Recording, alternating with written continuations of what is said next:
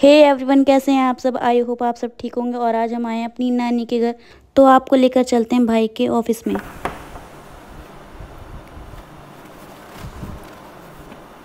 अस्सलाम वालेकुम अस्सलाम।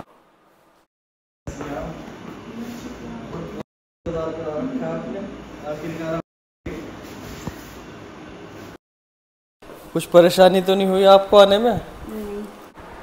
और कैसी हैं आप? मैं ठीक हूँ अलहमदिल्ला आपको बहुत बहुत बधाई आपके ऑफ़िस के लिए और फैक्ट्री के लिए। बहुत बहुत शुक्रिया आपको। बाकी मुबारकबाद की मुस्तक तो आप भी हैं। माशाल्लाह आपने किस तरह से हम सब लोगों का नाम रोशन किया हुआ है। एक मिसाल कायम की है और हमारा सीना गर्व से चौड़ा कर दिया माशाल्लाह। आप मुबारकबाद की मुस्तक हैं बहुत ज़्यादा मुस्तक हैं आप। माशाल्लाह। तो गाइज़ मैं आपको मिलवाती हूँ अपने भाई से। तो हम पूछेंगे आपकी भाई ने जॉब छोड़कर ये काम शुरू क्यों किया? तो आप बताइए सबको कि आपने कैसे कैसे ये शुरू किया? आपके दिमाग में कैसे आया? अच्छा। एक्चुअली क्या था मैं uh, 2015 में बीटेक पास आउट था। उसके बाद मैं प्लेस हो गया तो मैं बेंगलोर गया वन ईयर मैंने वहाँ जॉब की। और फोर इयर्स का मुझे जॉब एक्सपीरियंस रहा। उसके बाद मेरा दिल्ली ट्रांसफ़र हुआ। तो धीरे धीरे मैं गाँव आने लगा और लोगों से मिलने जुलने लगा, नज़दीकियाँ बढ़ने लगी और इसी तरह मैं धीरे धीरे सोशल एक्टिविटी में ख़ुद को मैंने इन्वॉल्व करना स्टार्ट किया और लोगों से मिलता गया, लोगों की खिदमत करना स्टार्ट किया। जितना ही मुझसे हो पाता था, लोगों से मिलता था। जहाँ भी मुझसे जो भी मेरे ज़रिए मदद हो सकती थी, मैं मदद करता था लोगों की और अल्लाह ताला मुझसे काम लेता था। मुझे बड़ी खुशी महसूस होती थी इस चीज़ से और बड़ा एक सुकून मिलता था मुझे। और ऐसे धीरे धीरे मैं गाँव में आता गया तो गाँव वालों से, सब अपने लोगों से लगाव और बहुत ज़्यादा प्यार मिला था मुझे उस टाइम पे। आज भी है, अलहमदिल्ला, सब लोगों का प्यार है बहुत ज़्यादा। तो मैंने यहाँ से जाना फिर मुनासिब नहीं समझा। मेरा यहाँ दिल लगा और दिल को एक अलग ही सुकून मिलता था यहाँ पर लोगों की खिदमत करने के बाद। फिर मैंने सोचा कि यहीं कुछ कारोबार स्टार्ट किया जाए, कारोबार शुरू किया जाए। सीट हमारी रिज़र्व हो गई थी तो चुनाव हम लड़ नहीं पाए थे, इलेक्शन हम लड़ नहीं पाए थे। फिर यहाँ से जाने का मेरा दिल नहीं किया। लोगों से इतना ज़्यादा लगाव हो गया था, इतना ज़्यादा प्यार जब सब लोगों का मिलने लगा था। फिर इस्तारा कराया, लोगों से मशवरा किया कि भाई यहाँ पे रहकर क्या वर्क स्टार्ट किया जाए, क्या काम किया जाए। अल्लाह ताला ने जहन में डाला तो इस काम की शुरुआत की और अल्हम्दुलिल्लाह आज फोर इयर्स हो गए हैं। अल्लाह ताला ने बहुत अच्छा माशाल्लाह बहुत अच्छा काम हमारा कराया। बहुत अच्छा का शुक्र से रनिंग में हमारा वर्क रहा। आसपास में जितनी भी मैक्सिमम ग्राम पंचायत हैं सब जगह हमारी टाइल्स की सप्लाई होती है। प्राइवेट्स कॉलोनियाँ होती हैं उनमें भी जाती है। अल्हम्दुलिल्लाह ऑर्डर भी पूरे नहीं हो पाते हैं। बहुत अच्छा माशाल्लाह रहा यहाँ पे। तो गाइज़ अगर आपको भी चाहिए तो आप भाई से संपर्क कर सकते हैं और हम आपको दिखाते हैं फैक्ट्री भाई की। तो चलिए आप फैक्ट्री। चलिए। आप जैसा जानने चाह रही थी हमारे प्रोडक्शन के बारे में तो मैं आपको पूरा रॉ मटेरियल से लेकर और पूरा प्रोडक्शन तक मशीनरी वगैरह के बारे में इनशाला सब जानकारी देता हूँ आपको सब बताता हूँ आपको। जी इंशाल्लाह। ये यहाँ पे हमारी टाइल्स जो है कंप्लीट तैयार रखी हुई हैं। अभी इनकी पानी से तराई होती है इनकी। अच्छा। जी छः से सात दिन तक तराई होती है उसके बाद डिलीवरी होती है। ये ये हमारे मशीन के सेटअप हैं दोनों। एक इधर सेटअप है एक उधर सेटअप है। दोनों एक साथ भी चल जाते हैं जैसे जैसे हम जी। उसी के अकॉर्डिंग हम वर्क कराते हैं। अच्छा। तो गाँव के लोगों को भी आपकी वजह से रोज़गार मिल रहा होगा? जी यही पर्पस था कि गाँव में अगर इस तरह का हम कोई बिज़नेस स्टार्ट करेंगे तो ओबियसली गाँव वालों को भी इसका प्रॉफिट बेनिफिट मिलेगा कुछ ना कुछ ज़रूर। और माशाल्लाह इसका फीडबैक भी अच्छा है काफ़ी यहाँ पे। दूर दूर से लोग यहाँ पे हमारे पास टाइल्स के लिए आते हैं दूर दूर तक तक जाना जाता है कि टेहरकी में फला जगह फैक्ट्री है प्रधान जी की फैक्ट्री है। टाइल्स ले आइए। माशाल्लाह क्वालिटी हमारी काफ़ी अच्छी है। तो क्वालिटी बेस पे ही हम लोग वर्क करते हैं। जी।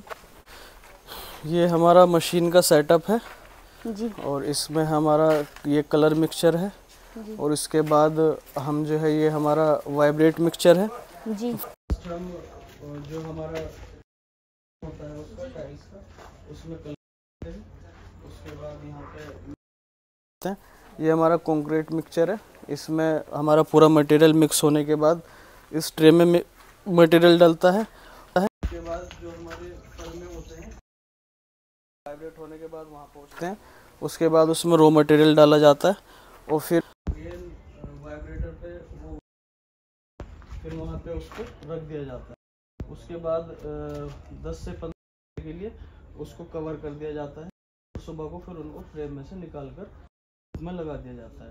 अच्छा। उसके बाद से सात दिन तक उसकी तराई करते हैं हम लोग। उसके बाद डिलीवरी कराते हैं। ये पूरा हमारा सेटअप है। यहाँ पे लाइट का भी हमने सेटअप लगाया हुआ है। लाइट से सेटअप लगाया हुआ है। डे में नाइट में जैसे भी हमारी रिक्वायरमेंट होती है उसी के अकॉर्डिंग हम वर्क कराते हैं।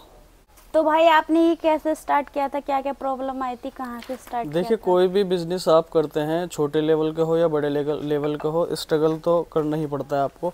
और ज़ाहिर सी बात है परेशानी आपको आएँगी। जी। परेशानी आती है। और जो परेशानी से अगर आप अगर स्टार्टिंग में घबरा जाएँगे तो फिर तो मुश्किल ही मुश्किल है। तो इस परेशानियों से घबराना नहीं है।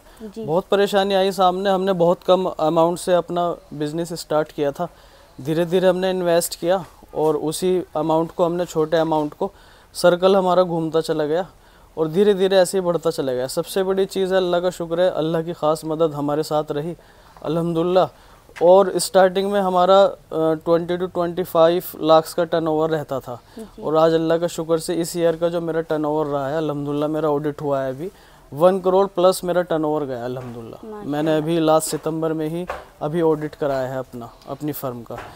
तो परेशानियाँ तो सब वर्क में रहती हैं लेकिन परेशानियों से घबराना नहीं है मुश्किलों के बाद ही राहत है जी। और मुश्किलों के बाद ही राहत है जब हमारी ज़ात ये हमारा यकीन ये रहता है कि अल्लाह की ज़ात से मदद आएगी तो यही है बस कि छोटे से से हमने स्टार्ट किया था स्टार्टिंग में हमारा एक ही सेटअप था आज में और आज इतनी रिक्वायरमेंट है इतने ऑर्डर हमारे पास में अल्लाह का शुक्र ऑर्डर भी पूरे आते हैं हमारे पास सबसे बड़ी चीज़ है कि इंसान को यकीन अल्लाह पे होना चाहिए कि जो हमारे हमारे नसीब का है वो हमें ज़रूर मिलकर रहेगा। और किसी के नुकसान पहुँचाने से नुकसान नहीं पहुँचता है। किसी के फ़ायदा पहुँचाने से कोई फ़ायदा भी नहीं पहुँचा सकता है। ये सब चीज़ें अल्लाह ने अपने कब्ज़े में रखी हैं। बस हमें मेहनत करते रहना है अपनी कोशिशों को लगातार जारी रखना है। बाकी अल्लाह पे यकीन रखना है इन ज़रूर कामयाबी मिलेगी। उसका फल आपको ज़रूर मिलेगा। जी। तो शुएब भाई अगर कोई मेरे चैनल से आया आपके पास लेने तो आप उनको क्या डिस्काउंट देंगे? अगर आपके चैनल से कोई आएगा आपका रेफरेंस लेकर आएगा आप बिहाफ पे तो हम उसे ten to twenty percent discount देंगे। अरे और कोई मेरे जैसे दिव्यांग आया तो?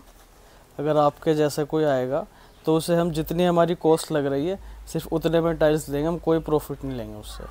अरे वाह तो गाइज़ आप लेने आ सकते हैं। मेरे कजिन ब्रदर हैं ये तो आपको मिलते हैं हम नेक्स्ट वीडियो में. Thanks for watching bye bye